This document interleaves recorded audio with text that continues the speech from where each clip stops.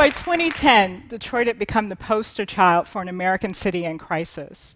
There was a housing collapse, an auto industry collapse, and the population had plummeted by 25% between 2000 and 2010.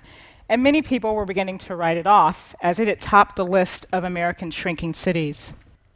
By 2010, I had also been asked by the Kresge Foundation and the City of Detroit to join them in leading a citywide planning process for the city create a shared vision for its future.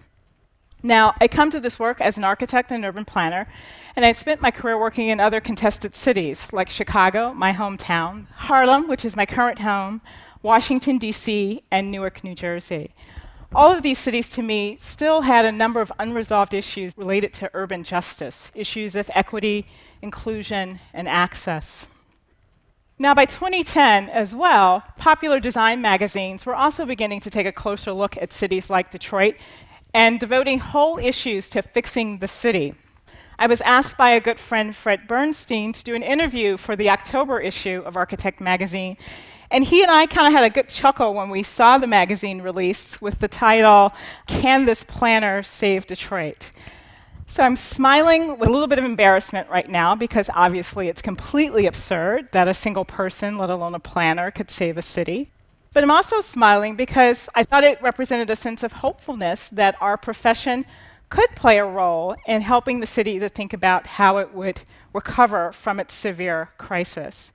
So I'd like to spend a little bit of time this afternoon and tell you a little bit about our process for fixing the city, a little bit about Detroit, and I want to do that through the voices of Detroiters. So we begin our process in September of 2010. It's just after a special mayoral election.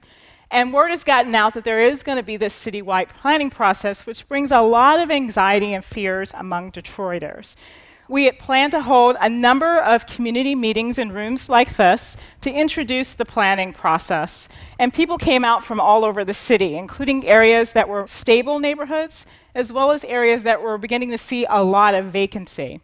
And most of our audience was representative of the 82% African American population in the city at that time. So obviously we have a Q&A portion of our program and people line up to mics to ask questions. Many of them step very firmly to the mic, put their hands across their chest and go, I know you people are trying to move me out of my house, right?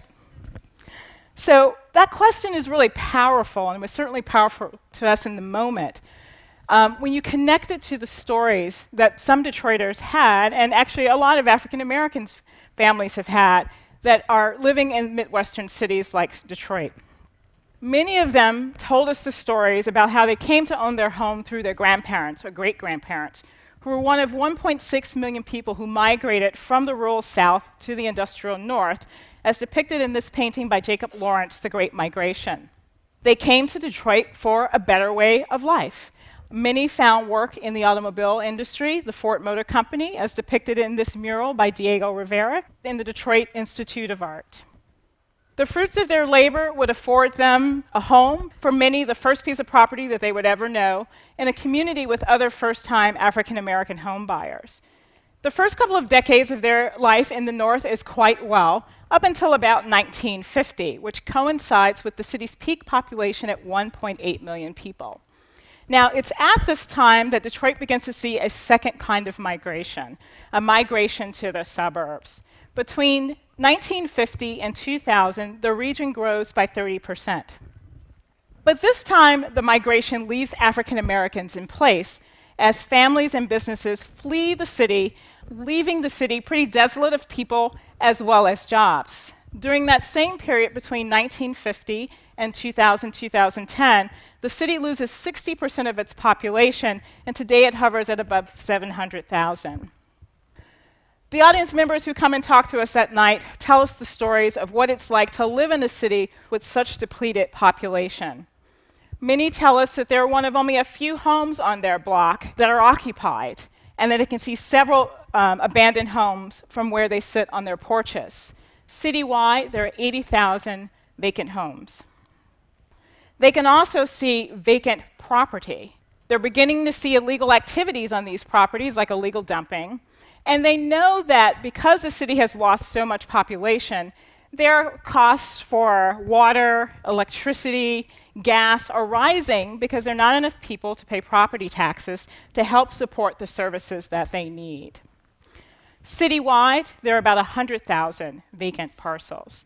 Now, to quickly give you all a sense of scale, because I know that sounds like a big number, but I don't think you quite understand until you look at the city map. So the city is 139 square miles.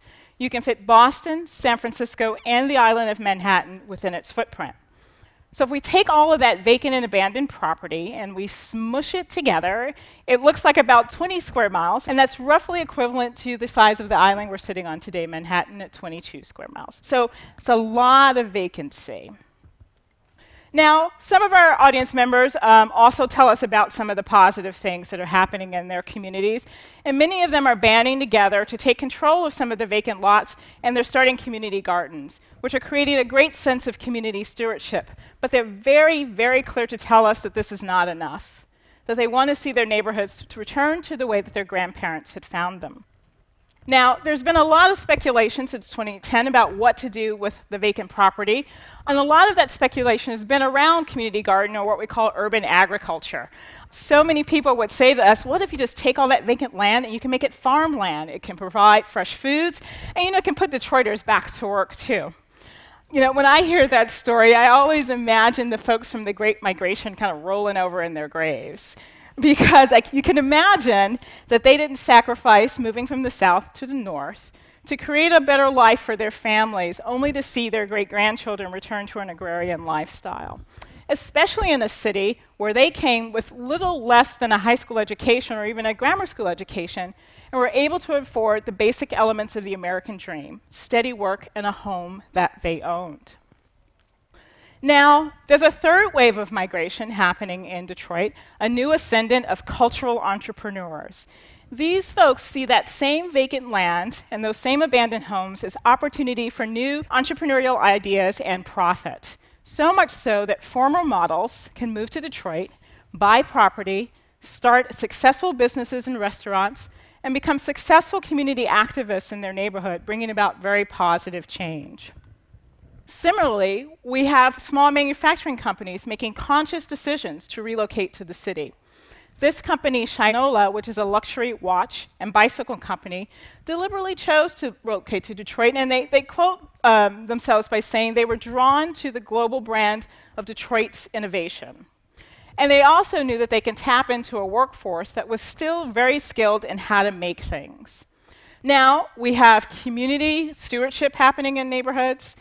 We have cultural entrepreneurs making decisions to move to the city and create enterprises. And we have businesses relocating. And this is all in the context of what is no secret to us all a city that's under the control of an emergency manager and just this July filed for Chapter 9 bankruptcy.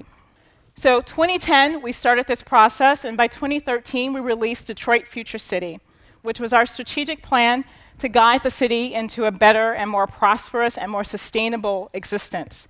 Not what it was, but what it could be.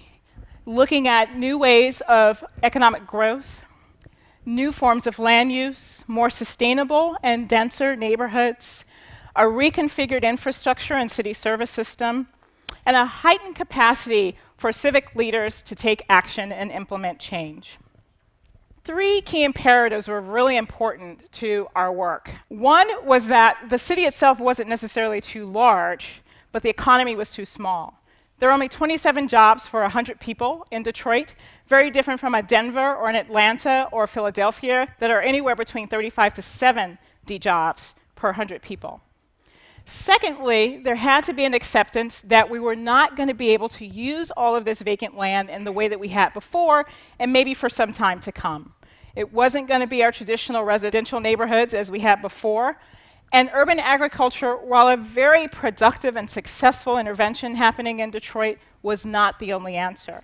That what we had to do is look at these areas where we had significant vacancy but still had a significant number of population of what could be new, productive, innovative, and entrepreneurial uses that could stabilize those communities where still nearly 300,000 residents lived. So we came up with one neighborhood typology, there are several, called a live make neighborhood, where folks could reappropriate abandoned structures and turn them into entrepreneurial enterprises with a specific emphasis on looking at the, again, majority 82% African American population.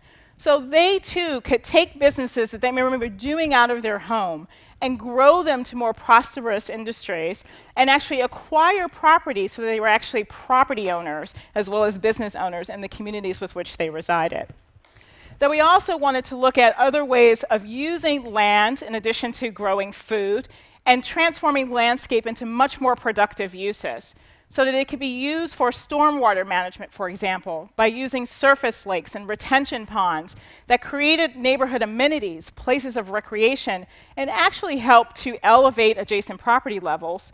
Or we could use it as research plots, where we can use it to remediate contaminated soils, or we could use it to generate energy.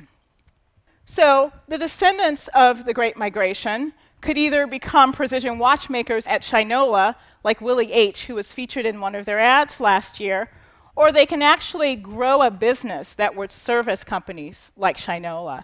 The good news is there is a future for the next generation of Detroiters, both those there now and those that want to come. So, no, thank you, Mayor Menino, who recently was quoted as saying, I'd blow up the place and start over. There are very important people, business, and land assets in Detroit, and there are real opportunities there. So while Detroit might not be what it was, Detroit will not die. Thank you.